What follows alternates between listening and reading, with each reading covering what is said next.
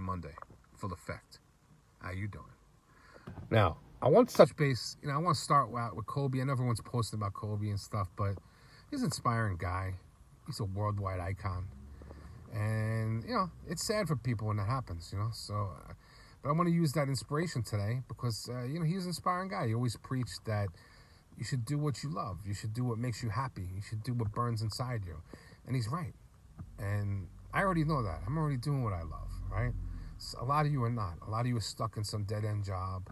A lot of you are not doing what you love. A lot of you are sitting at a dead end job, letting your life just fly away.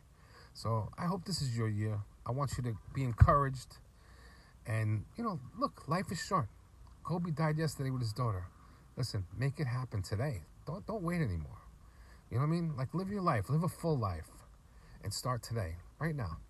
No more waiting around.